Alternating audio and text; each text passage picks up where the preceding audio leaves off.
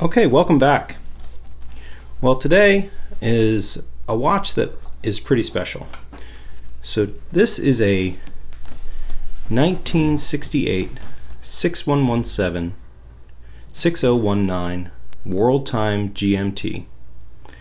This watch is, as far as I can tell, I don't know the absolute origins, but from my perspective, uh, this is a new old stock watch. Uh, I don't think this watch has ever been worn. It's never seen a wrist. Uh, it still has remnants of the case back plastic. Uh, it is absolutely just a phenomenal, phenomenal piece.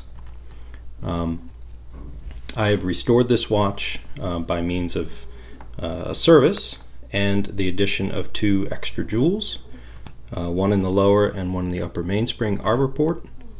Um, I just can't believe that this watch sat on a shelf somewhere and never got utilized.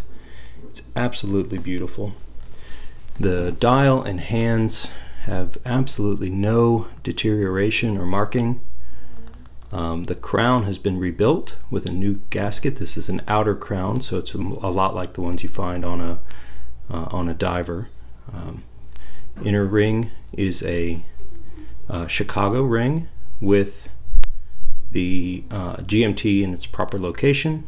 Uh, doesn't actually have the GMT mark, but London is not over Paris, so that's correct.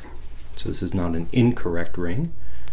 Um, I have it on a calfskin band, which I think actually really uh, sort of sets off that brown on the 24-hour inner ring. If you're looking for a essentially brand new 1968 blister back Seiko, uh, this might be the watch for you. This is a 6117 movement. It's a non-hacking, so it's an early 6117.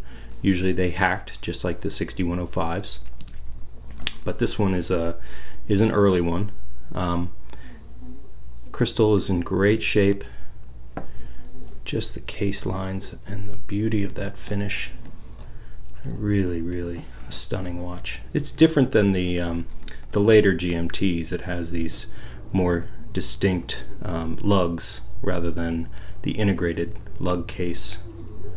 Um, but again, if you're looking for a new old stock watch, let me know. This one's for sale. It's on the website. I'll put a link in the description below. Uh, so have a look, and um, if you if you can't live without a brand new World Time, uh, this might be the one for you. All right, thanks for watching.